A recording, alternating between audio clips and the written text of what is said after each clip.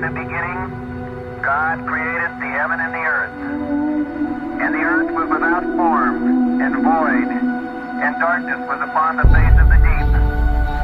And the Spirit of God moved upon the face of the waters. And God said, Let there be light. And there was light.